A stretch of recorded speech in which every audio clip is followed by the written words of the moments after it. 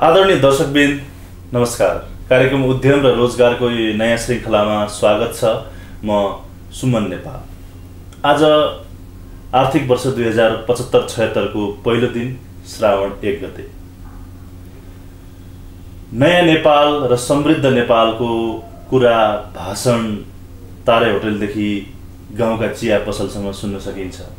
तर साँचो अर्थमा नयाँ नेपाल कसरी बनाउने हो समृद्ध नेपाल कसरी बनाउने हो मूर्त खाका अझै पाउन सकिएको छैन।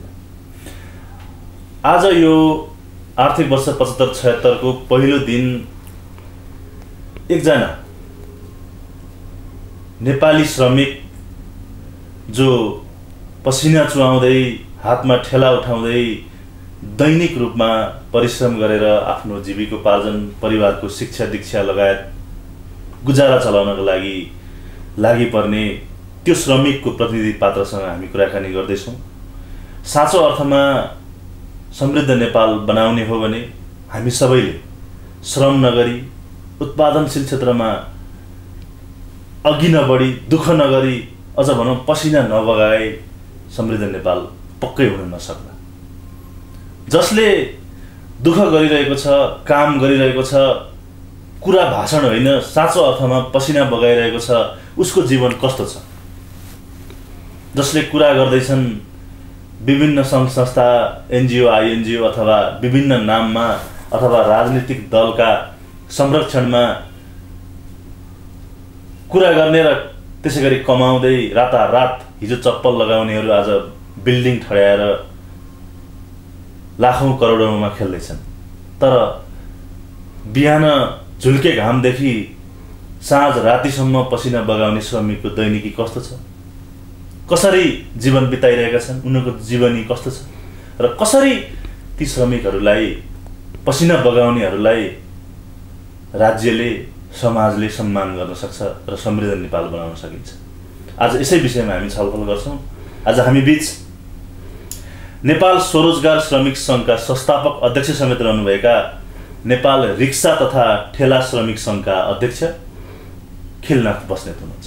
यहाँलाई कार्यक्रममा स्वागत छ। नमस्ते। एकजना श्रमिक नेता हजारौँ ती पसिना बगाउने ठेला उठाउने ती गाह्रो साह्रो अप्ठ्यारो हिलो बाटोमा चाहिँ गाडा ठेल्ने रिक्सा ठेल्नेहरूको अध्यक्ष हुनुहुन्छ। यो तपाईँ राजनीति मात्रै गर्नुहुन्छ कि तिनीहरूको साँच्चै साँचो अर्थमा प्रतिनिधित्व गर्नुहुन्छ? मलाई साँच्ची नै सर्वप्रथम तपाईँलाई भन्नै पर्दाखेरि मैले अहिलेसम्म राजनीतिक भन्दाखेरि पनि हिजो जुन यातायात मजदुरसँग मैले सँग आबद्ध भएर ललितपुर जिल्लाको अध्यक्ष रहँदाखेरि जुन मैले नेपालबाट पढित गरेर म इन्डिया गएँ रेल युनियनको कार्यक्रममा त्यसमा जाँदाखेरि मेरो एउटा साँच्चीकै अनुभव मलाई के भयो भने मैले पनिरो गर्दै जाँदाखेरि हाउडा पुलको मैले फोटो खिचेँ। मेरो अनुभवमा मैले आधारमा र मैले यथार्थ कुरा गर्नुपर्ने कुराहरू हुन्छ। त्यहाँनिर म जुन हाउडा पुलको मैले फोटो खिच्दाखेरि त्यहाँको पुलिसले मलाई समात्यो। समातिसकेपछि मलाई त्यहाँ नछोड्ने अवस्था भयो। मैले भन्दाखेरि के भने म नेपालबाट ट्रेन मोडरमा म एउटा कार्यक्रममा आएको रेलवेको कार्यक्रम भन्दाखेरि त्यहाँको पुलिसले मलाई केही पनि भन त्यहाँ आउँदैन यो त किनभने तिमीलाई लगेर थुन्नुपर्छ भन्नुभयो। उहाँको भाषाले बोल्नुभयो बङ्गाली त्यहाँको हिन्दी भाषामा बोल्नुभयो तर मैले नेपाली उ गर्दाखेरि पनि मलाई अनि एउटा जुन टाँगा भने मैले जुन यो टाँगाको यो रिक्सा ठेलाको नेतृत्व गर्न मलाई गौरव लाग्छ मलाई किनभने मलाई साह्रै आनन्द लाग्यो त्यहाँबाट। ए भैया इधर आइएन भने मैले। अनि त्यो टाँगामा जुन सामान बोकेर गएको थियो क्या है भन्ने उहाँले। भन्दाखेरि मैले के भने मैले यस्तो यस्तो गरेँ गल्ती म नेपालबाट यसरी आएको भनेर मेरो आफ्नो आइडेन्टी कार्ड देखाएँ। आइटिएफसँग लोगो भएको मसँग नेपाल कार्ड देखाउँदाखेरि ए यी त हाम्रो आदमी युनियनका आदमी छोडियो भने। भनेपछि त्यो एउटा टाँगावालाको कति पावरफुल रहेछ भन्ने कुरो मैले त्यहाँबाट मलाई साह्रै मन छोयो।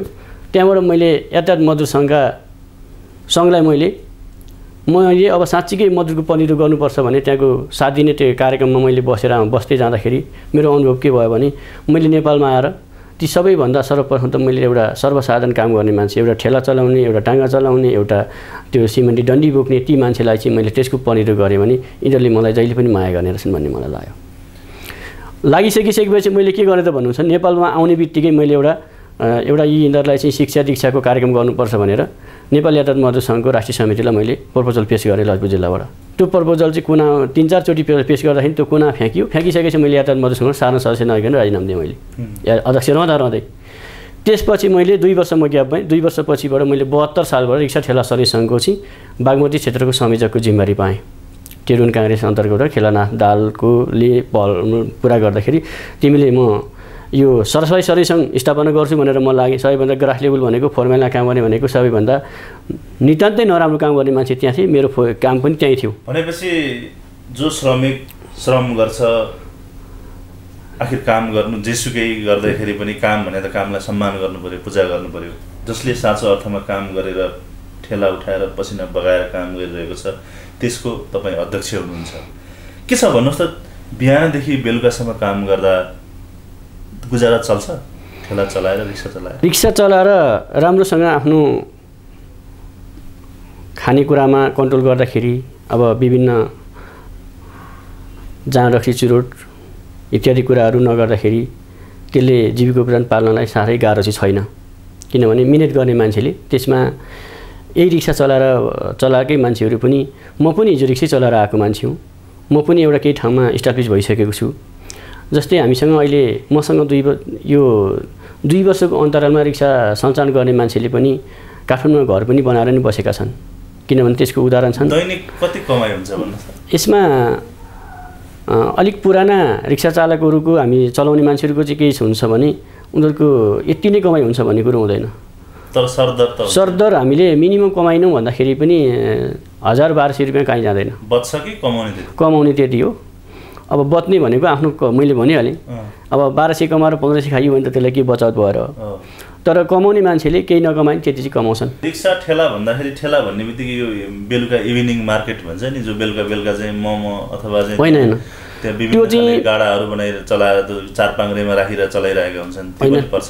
ती पनि परे कि तर के हो त भन्नुहुन्छ भने हाम्रो सबैभन्दा प्राथमिकतामा पर्ने पहिलेको कुरामा हामीले हेरेका आफ्नो संस्थागत रूपमा विधान सम्मतमा भएका कुरालाई हेर्नुपर्ने कुराहरू थिए पहिले। यसलाई विधान संशोधन गरेर अहिले यो स यसमा रिक्सा चलाउने यो सडक व्यापार गर्ने यो गाडामा के? चारपाङ्ग्रे गाडामा व्यापार गर्ने अनि म त्यो मोमो गाडामा चारपाङ्ग्रे गाडामा मोमो बेच्ने यिनीहरू सबै चाहिँ विधानभित्र परे अहिलेको अवस्थामा। त्यति बेला चाहिँ पहिलेको हाम्रो कार्य समितिले ती कुराहरू पारेको थिएन विधानमा। एउटा रिक्सा चालक भनेको रिक्सा चलाउने मान्छेलाई सदस्य लिने भन्ने मात्रै थियो। तपाईँहरूले काम गरिरहनु भएको छ स्वरोजगार भएर एउटा त्यहाँ तपाईँहरू आफै स्वरोजगार त हुनुभयो अरूलाई पनि रोजगारी दिनुभएको छ होइन? तपाईँहरूले गुजारा पनि चलाउनु भएको छ। तर तपाईँहरूले सहरको सौन्दर्य बिगार्नु भयो तपाईँहरूले चाहिँ बाटोमा डिस्टर्ब गर्नुभयो भनेर चाहिँ नगरपालिका महानगर अथवा राज्यले भन्छ नि। तपाईँले भनेको कुरामा राज्यले भनेको शत प्रतिशतमा म सहमत छु। दुर्गन्ध भयो नराम्रो भयो। त्यसको जिम्मेवारी को हो त? हिजो सिकाउने अभिभावक को हो त? त्यही नगरपालिकाले हिजो मैले भनिसकेँ यसमा म फेरि फर्किन जान्छु। हिजो नगरपालिकाले दुई हजार एकाउन्न सालमा यही अहिलेकै सरकार रहँदाखेरि मनमोहनको पालामा यिनै सडक विभाग लिएर गएर चाहिँ भिरकुरीमा व्यवस्थापन गरेको हो नि अनि त्यति बेला व्यवस्थापन गरिसकेपछि त्यो सडकमा कुनै पनि व्यापारीलाई आउन नदिएर गर्न नदिएको भए त त्यो मान्छेले गर्दैन थियो। जाने बाटो भए त जान्छ नि मान्छे। तपाईँ हामीसँग साधन छैन भने चन्द्रमामा त पुग्नु कोही पनि सकिँदैन नि। सकिन्छ। नसक्ने भएपछि नसक्ने परिस्थिति आइसकेपछि राज्यले के गर्नुपर्छ त भने त्यति बेलै जुन सडक व्यापार गर्ने मान्छे थिए गाडा चलाउने मान्छे थिए रिक्सा बनाउने मा रिक्सा चलाउने मान्छे थिए अनि यो बरफ बेच्ने मान्छे थिए झोलामा व्यापार गर्ने मान्छे थिए कुम्लोमा व्यापार गर्ने मान्छे थिए तिनीहरूलाई त्यो सडकमा चाहिँ दुई हजार बैसठी त्रिसठी सालमा सबैभन्दा गैर जिम्मेवारी काम भयो। उम्, गैर जिम्मेवारी काम के भयो त भन्नुहुन्छ भने राज्य सत्ता हाम्रो कब्जामा छ जे गरे नि हुन्छ भनेर त्यही रत्नपारको मान्छे हिँड्ने बाटो एक हातको पाँच सयदेखि पाँच हजारसम्म बिक्री भएको छ। ए। त्यति बेलाका ती सडक व्यापारीलाई सोध्नुहोस्। कुनै मान्छेलाई म मबाट एउटा नेतृत्व गर्ने हुँ म राजनीति गर्ने मान्छे होइन। राजनीति गर्ने मान्छेलाई सोध्नुहोस् कि तिनीहरूले हिजो राजनीति गर्दाखेरि तिमीहरूले हिजो कोठामा बस्दाखेरि कोठा भाडा तिर्नु पर्दैन भनेर नै राजनीति फैल्यायो अनि यो सडकमा जसले बस्छ तेरो घर त्यही हो भनेर एउटा राजनीति गर्ने भाषा बोलियो। अहिले ती मान्छेले इस्टाब्लिस गर्ने को हो त? उहाँहरू नै अहिले सत्तामा हुनुहुन्छ। त्यही सडक बेच्ने मान्छेले अहिले तिनीहरूलाई व्यवस्थापन गर्नुपर्छ। हिजो उहाँहरूकै मान्छे हुन्? हिजो राज्य सत्ता हिजो राज्य सत्तामा म जान्छु। हिजो राज्य सत्ता कुनै मान्छेले चलाउँदा अन्य राज्य सत्ता चलाउँदाखेरि उहाँहरूलाई चाहिँ हिजो सडकमा व्यापार गर्न हुन्थ्यो भने अहिले चाहिँ किन नहुने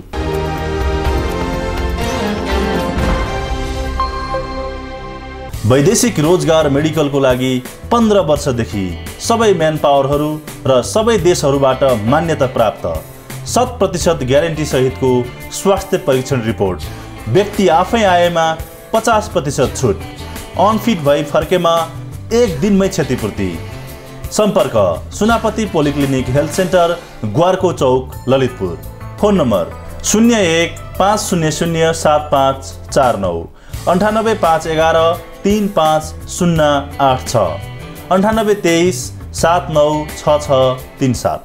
के तपाईँ महिला भएकै कारण वैदेशिक रोजगारीमा नजाने मानसिकतामा त हुनुहुन्न? हुनुहुन्छ भने त्यस्तो मानसिकता त्याग्नुहोस्। युरोपियन मुलुक साइप्रस लगायतका राष्ट्रहरूमा सुरक्षित वैदेशिक रोजगारीको अवसर प्रदान गर्दै आएको Gautam international main power services प्राली। सुविधानगर तिनकुने काठमाडौँ। फोन चार एघार सोह्र चौवालिस।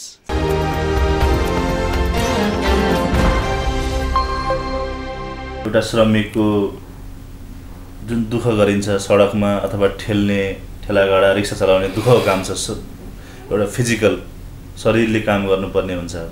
तपाईँहरूलाई लाग्दैन तपाईँहरूसँगैका अरू घर बङ्गला अथवा राम्रो राम्रो स्कुलमा बच्चाहरू पढाउने त्यसै गरी राम्रो आम्दानी जुन छ नि उनीहरूको चाहिँ लिभिङ स्ट्यान्डर्ड भन्छ त्यो देख्दाखेरि आफूले दुःख गर्दाखेरि यो काम बेकार गरिएछ भन्ने लाग्छ कि मैले श्रम गरेँ भन्ने लाग्छ? होइन मलाई चाहिँ एउटा बिल्कुलै लाग्दैन। मैले एउटा कुनै पनि ठुलो स्कुलमा एउटा मुङ्गो स्कुलमा अनि विदेश छोराछोरी पठाएर मैले पढाउँछु भन्ने छैन। मेरा छोराछोरी सरकारी स्कुलमै पढ्छन् अहिले पनि। किनभने एउटा म सर्वेको नेतृत्व पनि गरेको छु र मैले वास्तविकता भन्नुपर्दाखेरि अहिले दुई वर्षको अन्तरालमा हेर्नुपर्छ भने तिनै श्रमजीवीहरूले मलाई पनि एउटा खाना भात खुवाउने वातावरण बनाएका छन्। किन भन्नुहुन्छ भने उहाँको काममा हिँडेको छु म। किनभने उहाँहरूले एउटा सदस्यता तिर्नुभएको छ। सदस्यताको पैसाले मैले कहीँ हिँड्दाखेरिको लागि हामीलाई किनभने फलान ठाउँ जानु पर्दाखेरि यहाँबाट विराटनगर जानु पऱ्यो तिनीको तिनीहरूले तिरेको पैसाले म जानुपर्ने कुराहरू हुन्छन्। मेरो व्यक्तिगत त मैले कहिले पनि पुग्दैन। मैले उहाँहरूको काम गरेको छु। उहाँहरूले किनभने एउटा संस्थालाई सिमिल निमित्त पैसा तिर्नुभएको छ। वर्षको एकचोटि तिर्नुहुन्छ। वर्षको एक सय बिस रुपियाँ तिर्नुहुन्छ। त्यही एक सय बिसको रूपमा हामीले तपाईँको भन्दा पनि मैले एउटा श्रमिकको कुरा गर्दैछु। तपाईँहरूसित छलफल हुन्छ। विभिन्न भेलाहरू हुन्छन्। कार्यक्रम गर्नुहुन्छ तपाईँले। तिनीहरूसँग अन्तरङ्ग कुराकानी गर्नुभएको छ। उनीहरू आफ्नो कामप्रति गौरवान्वित छन् कि होइन? छिमेकीहरूले यस्तो काम गरे ठुल्ठुला व्यापार गरे अथवा राजनीति गरे बङ्गला बनाए मैले चाहिँ यति दुःख गर्दाखेरि पनि जीवन चलाउने धौधौ बच्चा सरकारी स्कुलमा भन्ने लाग्छ त्यस्तो कहिले? धनी बन्न कसलाई मन हुँदैन र? मिठो खान कसलाई रहर हुँदैन र? किनभने एउटा रिक्सा चलाउनुभन्दा मैले चाहिँ कारमा चढ्न पाए हुन्थ्यो भने जसलाई पनि हुन्छ। त्यो त्यो सेटल गर्नलाई जो पनि खोज्न जान्छ त्यो त्यो जानको लागि उहाँलाई जसलाई पनि मन छ। तर हामी एउटा सङ्घ संस्थामा हामीले जुन युनियनमा बसेका मान्छेहरूले उहाँलाई के भन्नु पऱ्यो त भने हामीले नराम्रो काम गर्नु हुँदैन कानुनको दायराभित्र बस्नुपर्छ। किनभने हामीले राम्रो पढायौँ भने हाम्रा बालबच्चाले पनि हामीलाई भोलि गएर यिनीहरूले पनि हामीले गरेको कामलाई हाम्रो मेरो बुवाले यसरी पढाउनु यसरी मलाई एउटा रिक्सा चलाएर एउटा हातमा ठेला उठाएर मलाई पढाउनु भएको छ। त्यो पढाइ सम्झेर भए पनि मैले राम्रो पढ्नुपर्छ भनेर ती बालबच्चाहरूले पनि राम्रो शिक्षा लिन्छन्। एउटा बुवाको दुःखले आफ्नो बाबाआमाको दुःखले। तर अहिलेसम्मको हेर्नुहुन्छ भने जुन बिग्रिने मान्छेहरू भनेको धनीकै छोराछोरी हुन्। हामी जस्तो एउटा रिक्सा ठेला चलाउने मान्छेका एउटा सडकमा व्यापार गर्ने मान्छेका छोराछोरी कमै बिग्रेका छन्। हुन्छ भन्ने भनेपछि थिएन। समाजमा अहिले चाहिँ त्यो पेसाप्रतिको सम्मान कामप्रतिको सम्मान र चाहे जेसुकै गरोस् उसले काम गरेको छ भन्ने चाहिँ विकास भइसकेको छ त्यसले। धेरै विकास भएको छ। अब तपाईँको हाम्रो यो नेपालमा अब यो नेपालमा चाहिँ हामीले अब हामीले अस्सी प्रतिशत चाहिँ हामी सफल भइसक्यौँ। अब यसमा जुन विभिन्न राजनीतिका ट्रेड युनियन महासङ्घहरू छन् उहाँहरूले चाहिँ एउटा मेरो उहाँ उहाँहरूलाई एउटा के सुझाव हो अथवा मेरो यो साँच्ची नै मलाई मनमै लागेको कुरा मैले भने यसमा चाहिँ सेमिनार गोष्ठी गर्दाखेरि सोल्टी होटलमा होइन त्यो सडकमा काम गर्ने मान्छेको लागि बोलाउनुहोस् किनभने टाई सुट लाएर त्यहाँ गएर मान्छेले के के को हुन्छ हामीले जति पढे जति पुगै पढ्नु पर्ने कुराहरू मैले सोल्टी होटलमा गएर पढेर केही पनि होला छैन होटलमा गएर केही पनि पुग्ने होला छैन। तर त्यो खर्च चाहिँ साँच्चीकै ती यो नेपालको ट्रेड युनियनका आधारमा जेटियुसी अथवा यी नेपाल ट्रेड युनियन काङ्ग्रेस अन्य हामीसँग एघारवटा ट्रेड युनियन छन्। यी सबै पार्टीका ट्रेड युनियनले चाहिँ के गर्नु पऱ्यो भने मधुरमुखी कार्यक्रम गर्नु पऱ्यो उहाँहरूको यो किनभने मलाई चाहिँ एउटा जहाँसम्म लाग्छ अहिलेको यो चार पाँच भनेर राख्दाखेरि जस्तो राज्यले एउटा न्यूनतम पारिश्रमिक पनि तोकिएको छ त्यो कार्यान्वयन भलै हुँदैन होला होइन? तपाईँहरूका जेटियुसिसीदेखि एघारवटा ट्रेड युनियन कुरा गर्नुभयो तिनीहरू पनि उही तारे होटलमा काम गर्ने बजेट पचाउने मात्रै काम गर्ने। तपाईँहरूको साँचो अर्थमा चाहिँ मजदुरको नेतृत्व उनीहरूले अथवा मजदुरको मन छुन सकेका छैन त्यस यो छैन बिल्कुलै छैन। किनभने जिराफले कार्यक्रम गर्छ सोल्सी होटेलमा गएर गर्छ ठुल्ठुला होटेलमा गर्छ पाँच तारे चा यस्ता होटेलहरूमा गर्ने हो। जुन मजदुरमुखी कार्यक्रम छ त्यो मजदुर कहिले पनि त्यो ठाउँ पुग्न सकेका छैनन् कसैका पनि। यसमा मैले यो तपाईँहरूको यो टेलिभिजन मार्फतबाट म के भन्न चाहन्छु भने सम्पूर्ण यी नेपालका ट्रेड युनियनहरू छन् हामी। त्यसमा आबद्ध भएर नेपाल ट्रेड युनियन यो ट्रेड युनियनलाई मात्रै मैले हुँदाखेरि म पनि सुध्रिनुपर्छ। पहिलो पहिलो कुरा त मजदुरमुखी आएका बजेटहरू विदेशबाट आएका बजेटहरू फोटो मात्रै बेचेर खाने काम नहोस्। ती मजदुरका छोराछोरीलाई तिनीहरूले कसरी पढ्ने वातावरण हुन्छ ती किसिममा जानुपर्छ भन्ने मेरो माग हो। मजदुरको कुरा छ होइन दुःख गर्नुहुन्छ एउटा चाहिँ हाम्रो परम्परागत सोच के सोच के पाइन्छ भने विदेशमा गएर जे पनि काम गर्ने होइन चाहे त्यहाँ टोइलेट सफा गर्ने होला अथवा धेरै रिस्की कामहरू त्यसपछि कन्स्ट्रक्सनका कामहरू गर्ने तर नेपालमा चाहिँ यसो नाक खुम्चाउने सानो काम भनेर हेप्ने जुन एउटा सोच छ नि त्यो चाहिँ परिवर्तन हुँदैछ त्यसो परिवर्तन चाहिँ हुन चाहिँ हुन चाहिँ खोजेको हो। तर जुन ग्रास लेभलमा जानुपर्ने कुराहरू छन् नि. म तलै झरेर कुरा गर्छु म। अहिले यो स्ट्यान्डर्ड टाई लेभलमा मात्रै कार्यक्रम भएका छन्। किनभने हेर्ने जनमुखी चाहिँ के छ भने त्यहाँ चाहिँ देख्दाखेरि एउटा ट्रेनिङमा लागेका मान्छेले चाहिँ यिनीहरूलाई बोलाउँदाखेरि अलिकति राम्रोसँग आइडिया हुन्थ्यो भन्ने चाहिँ उहाँहरूसँग छ। अहिले पनि हेर्ने दृष्टिकोण चाहिँ फरक छ। तर अब अहिले स्थानीय तह प्रदेश सरकार अब सङ्घीय सरकार भनिएको छ अधिकार पनि विकेन्द्रित भएर जनताकै प्रतिनिधिहरू नगरमा गाउँपालिकामा बसिरहेका छन् वडाहरूमा। ती भइसकेपछि तपाईँहरूलाई अलिक प्रोत्साहन गर्ने अथवा जसले कर्म गर्छ जसले श्रम गर्छ जसले चाहिँ पसिना बगाउँछ उनीहरूका लागि अलिक सकारात्मक बाटो बने हो। पहिलेको यो स्थानीय सरकार नहुँदा हुँदाभन्दा नहुँदाको बेलामा चाहिँ एउटा सहज तरिकामा काम भएका थिए। धेरै ठाउँमा मैले म मेरो अनुभवमा र मैले गरेका ठाउँको हिसाबले म कुरा गर्दाखेरि अहिलेका जुन निर्वाचित अध्यक्षहरू निर्वाचित पदाधिकारी के भयो त भन्नुहुन्छ भने राजनीति गर्नलाई पैसा खनिएको छ। किनभने एउटा वडा अध्यक्ष जित्नलाई लाखौँ पैसा खर्च गरेका छन्। किनभने कसैले घर जागरी राखेका रहेछन् कसैले जग्गा जागरी राखेका रहेछन् कसैले विभिन्न कुराहरू आफ्नो इमान जमान जागरी राखेका होलान्। त्यो कुरा उठाउनको लागि भने पनि अहिले विभिन्न कुराहरू मिडिया मार्फत नै आएका छन्। के त हरेक वडा अध्यक्षले एउटा वडा अध्यक्षले खर्च गर्दाखेरि ती खर्च उठाउन प्रक्रियामा लागेका छन्। किनभने त्यो बाटोघाटोमा बस्ने मान्छेलाई त्यो वडाभित्रमा मापदण्डभित्र बसेका मान्छेहरूले एउटा काम गरेर खाने मान्छे एउटा ठेला रिक्सा राखेर बस्ने मान्छे एउटा ट्र्याक्टर राखेर बस्ने मान्छेलाई चाहिँ के भनिएको छ त भन्दा यहाँबाट हटाउँछ हटाउँदैनस्। मलाई हिँड्न बाटो अप्ठ्यारो पो भन्नु थाल्नु भएको छ। ए त्यस्तो छ। त्यस्तो प्रविधि आइसकेको छ। अब यो रिक्सा गाडा ठेला चलाउने त्यसरी टाँगा चलाउने अझ हाते ट्र्याक्टर पनि तपाईँहरूको चाहिँ रिक्सा तथा ठेला श्रमिक सङ्घ अन्तर्गत पर्ने रहेछ। अझ भनौँ निम्न वर्गको अलिक आर्थिक रूपमा कमजोर मान्छे भनौँ न। अहिले त्यही सोचिन्छ नि। हजुर। र ती श्रमिकको सुरक्षा अथवा बिमाका कुराहरू न्यूनतम ज्याला सबै तपाईँ लगानी गरेर तपाईँ टाँगा किन्नुभयो तपाईँले चलाउनु भन्ने छैन अरू कसैलाई दिन सक्नुहुन्छ। के छ भन्नुहोस् त यो चाहिँ? यो सामाजिक सुरक्षा अन्तर्गतमा यसैपालि मात्रै ऐन पारित भएको हो। यो ऐन पारित भइसकिसकेपछि यसलाई कार्यान्वयनमा आएको छैन। यसमा हामीले बिमा गर्नको लागि र यो जुन बिमा गर्नको लागि के चाहियो त भने त्यो ठेला कहाँ त कहाँबाट बन्यो कहाँबाट दर्ता गरेर कुन ठाउँमा दर्ता गर्ने भन्ने प्रक्रिया थाहा नभएको परिस्थिति छ। अब जुन काम गरिएको छ त्यो काम गर्नलाई त्यो ठेला कहाँ दर्ता गर्ने त? नगरपालिकाले दर्ता गर्ने हो कि? यातायातले दर्ता गर्ने हो कि? ओडाले दर्ता गर्ने हो त? स्पष्ट रूपमा त ती आउनुपर्ने कुराहरू हुन्छन्। अब मैले श्रम गरेको त म कुन काम गर्छु भनेको त पहिले पञ्चालीकरण किनभने यसले यो काम गर्छ भने यो पेसा गर्छ भनेर पहिले जुन स्थानीय सरकार छ त्यो ओडाले चाहिँ उसको चाहिँ परिचय पत्र दिनुपर्ने कुराहरू हुन्छ। त्यो कुराहरू लागू भइएको छ गरिसकेको छैन। त्यो लागू नभइकन यो बिमा गर्ने प्रक्रिया केबाट गर्ने भन्ने कुरा आएको छैन।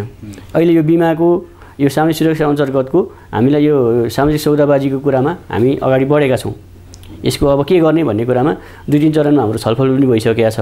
यस विषयमा।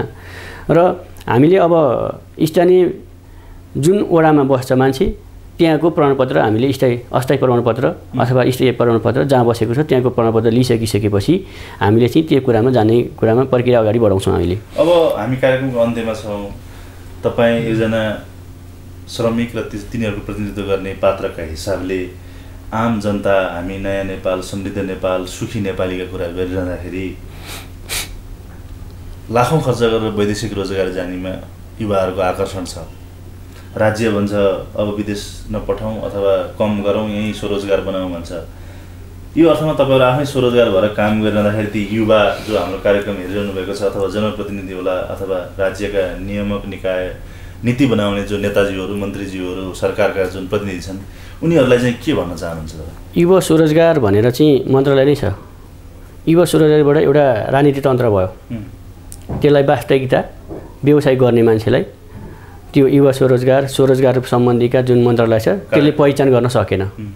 किन भन्नुहुन्छ भने हिजो साउदीको खाडी मुलुकबाट दुई लाख पैसा लिएर आएर एउटाले कुखुरा व्यापार गर्यो एउटाले बाख्रा व्यापार गर्यो एउटाले माछा व्यापार गर्यो। ती माछा व्यापार पनि भाँसिए कुखुरा व्यापारी नि भाँसिए एउटा व्यवसाय गर्ने सुम्मै भाँसिए। कसरी भाँसिए भन्नुहुन्छ भने त्यो व्यवसायलाई प्रोत्साहन गर्नुको सट्टा चाहिँ के भयो त भन्नुहुन्छ भने मेरो कार्यकर्तालाई कसरी पैसा दिने? भनेर विभिन्न सहकारी अन्तर्गत गरेर छ करोड पैसा बाँडियो पहिले। छ अरब पैसा जान्छ बाँडियो। छ करोड मात्रै छ अरब पैसा त्यो बिन बालुवा पानी हाले जस्तो भयो। ती मान्छेलाई प्रोत्साहन गर्नको लागि ती स्वरोजगार गरेका बसेका मान्छेलाई तपाईँलाई के चाहियो भनेर राज्यले सोध्यो काहीँ? अर्थमा चाहिँ अनि- स्वरोजगार बन्ने अथवा युवाहरूले चाहिँ राज्यको ती कार्यक्रमहरू चाहे गरिबी निवारण कोषका कार्यक्रम हुन् युवा स्वरोजगार कोषका कार्यक्रम हुन् ती कार्यक्रमहरू चाहिँ लक्षित वर्गसम्म पुगे पुगेकै छैन त्यो. किनभने पहुँचोला जो छ त्यसले ती पैसा पाएका छन्। दुई लाख रुपियाँ पाउने कुरा छ नि यो पाएका थिए नि ती मान्छेहरू। त्यो बालुवा पानी हालेको त्यो पैसा कहाँ छ? ती मान्छे ती स्वरोजगार अहिले खोजेर हिँड्नु भने त्यो दुई लाख रुपियाँ पैसा पाएका मान्छे एकजना चाहिँ जो ठेला उठाउने पसिना बगाउने श्रमिकको नेताको हिसाबले ती युवाहरूलाई जसले श्रम गर्न सक्छन् तिनीहरूलाई आग्रह के?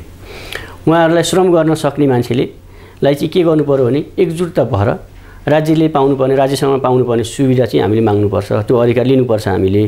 र एकजुटता भएर हामी जानुपर्छ। एक्लै गयो भने राज्यले हामीलाई टेर्नेवाला छैन। अनि एकजुट भएर हामीले जुन व्यवसाय गरेका छौँ हामीलाई यो प्रोत्साहन चाहियो यो चाहियो भनेर हामीले जान सक्नुपर्छ। जुनसुकै व्यवसाय पनि म एउटा स्वरोजगारको हैसियतमा गएर म कुरा गर्छु हामी मेरो रिक्सा ठेला रिक्सामा काम गर्ने मान्छे नि हामी स्वरोजगारै हौँ। आफ्नै रिक्सा हामी सञ्चालन गर्छौँ आफ्नै रिक्सा चलाउँछौँ। त्यो चलाउने भएको कारणले गर्दाखेरि विभिन्न व्यवसाय गर्ने मान्छे चाहिँ हामी के हुनु पर्यो त भने एकै ठाउँमा गोलबन्दामा कुनै राजनीतिक पार्टीसँग आबद्ध नभइकन हामी एउटा व्यवसायिक रूपमा आबद्ध भएर चाहिँ त्यसलाई राज्यसँग चाहिँ त्यो राज्यसँग पुर्याउने कुरा गर्नु पर्यो। गऱ्यौँ भने मात्रै हामीले राज्यले प्रोत्साहन गर्ला। नभएदेखि राज्यका आफन्तलाई मात्रै ती पैसाहरू चाहिँ प्रोत्साहन पाउने गर्छन्। त्यसले गर्दाखेरि यो युवा स्वरोजगार यो जुन स्वरोजगार भनेर जुन पैसा राज्यले बालुवा पानी हालेको छ यो तत्काल रोकिनुपर्छ। जसरी अहिले नयाँ नेपाल र समृद्ध नेपालको कुरा गरिँदैछ तपाईँ हामीले श्रम नगरेसम्म दुःख नगरेसम्म उत्पादनशील क्षेत्रमा लगानी गरेर हामीले आयातलाई ठप्प पार्दै निर्यात गर्ने जबसम्म वातावरण बन्दैन। हामी सुखी पनि हुन्न समृद्ध नेपाल पनि हुँदैन। त्यसैले तपाईँ पनि दुःख गर्नुहोस् म पनि गर्छु। हामी सबै दुःख गरेर श्रम गरेर उत्पादनशील क्षेत्रमा जोडियौँ र समृद्ध नेपाल बनाउन अघि बढौँ। तपाईँले कार्यक्रममा समय दिनुभयो। एउटा श्रमिकको कथा व्यथा लगायत हामी दुःख गरौँ भन्ने जुन मनसाय राख्नुभयो र जिम्मेवार निकायले पनि श्रमिकलाई र लक्षित वर्गसँग चाहे युवा स्वरोजगारका कार्यक्रम हुन् चाहे अरू कार्यक्रम हुन् एउटा लक्षित वर्गसँग पुगोस् र हामी सबै मिलेर एउटा समृद्ध नेपाल बनाउन सकियोस्। कार्यक्रममा समय दिनुभयो। यहाँलाई धेरै धेरै धन्यवाद। धन्यवाद।